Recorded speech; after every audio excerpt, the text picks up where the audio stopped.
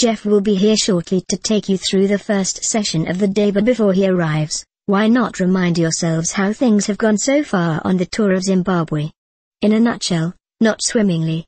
Game 1, Australia make light work of Zimbabwe. Game 2, Australia chased down by South Africa. Game 3, Zimbabwe stun Australia as Clarke. Injury returns. Darren Lehmann was understandably fuming by the performance of his charges in that most recent defeat, Australia's first ODI loss to Zimbabwe in 31 years, and the Australia coach was left searching a thesaurus for new ways to express his anger, which pretty much sums things up.